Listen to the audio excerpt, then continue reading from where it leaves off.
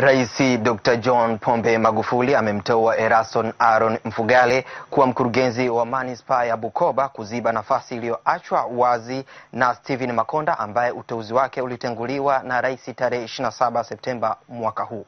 Taarifa iliyotolewa na vyombo, kwa vyombo vya habari na katibu mkuu wa ofisi ya rais Musa Iyombe imeelezwa kuwa kabla ya uteuzi huo Erasto Mfugale alikuwa mkuu wa idara ya ustawi wa jamii katika halmashauri ya Masasi mkoani Mtwara.